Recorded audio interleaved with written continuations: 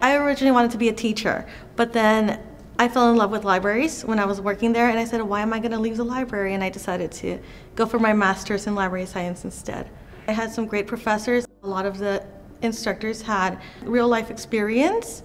I found that they were very knowledgeable. Being able to go online and actually also work at the same time was very helpful. Um, I was getting the experience at work while going to school, and that was that was really great.